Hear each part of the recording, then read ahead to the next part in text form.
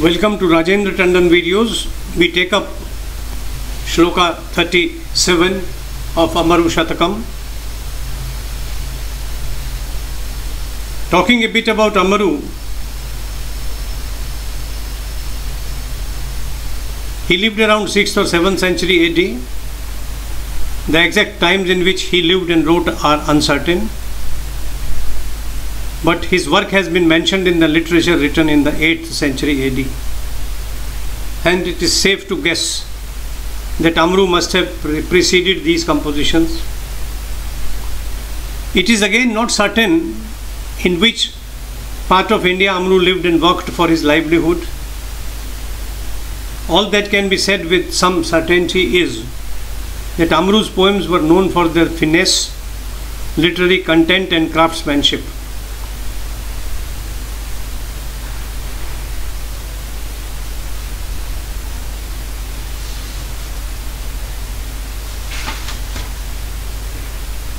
Amru was a man of the world who had drunk deep the elixir of life, lived by a lover, and had seen the lover's life from a close quarter in its various manifestations. Besides, Amaru was a poet of great merit. His observations of men and manners, of the beauty of nature, of goings on between lovers, amongst close friends, in the company of the elders or of the strangers was sharp. He had the words to describe delicate and intimate situations, as you would notice in the verse we are going to discuss shortly.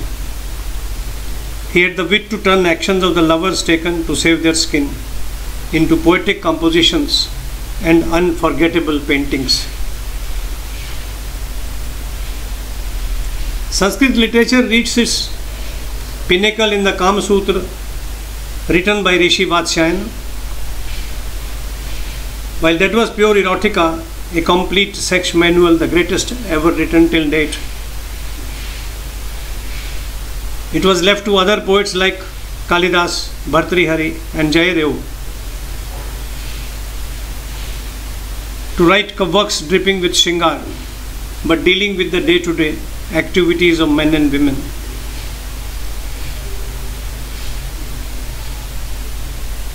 In the verse we are taking up today, the situation is very interesting. She comes to meet him, obviously to make love. But her maids tell her that he is sleeping, don't disturb him. He is asleep, dear mistress. Taking it easy and rest a while. Saying so, my maids left me for a, with a smile. Out of love unleashed and without guile, I caressed his face with mine. Such an innocent fool am I. But quite soon did I sense that his shut eyes were a mere pretense. And what follows? Please listen to what follows. The crook's excitement made his hair tense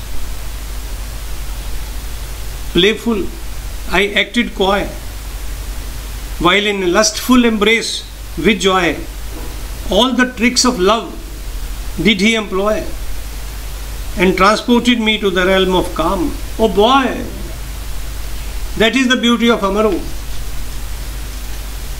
He describes a situation which is common.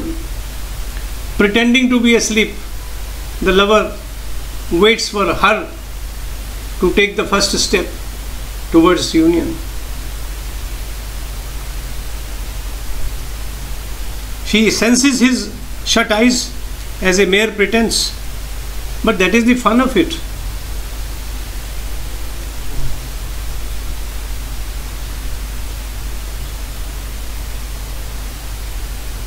In the game of love, Amru says, a twist of brow does anger show how, bhav, expressions, and silent makes a barrier grow. A mere glance delights the heart. What a lovely game. A smile joins what was apart. That love has been lost, alas. You crawl to please me, I let it pass. This is another verse. To be tough and heartless do I resolve. Why don't I let my anger dissolve?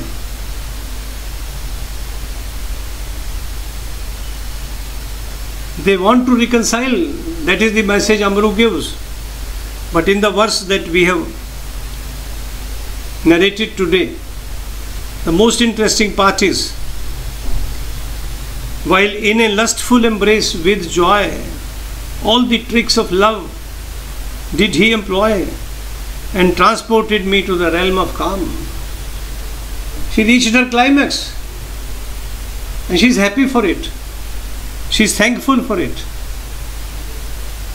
That is the purpose of making love to reach the pinnacle of delight, ecstasy which cannot be achieved in any act in which human beings can indulge. Keep it in mind what I am saying. Think over it again and again. And thank you for visiting this site.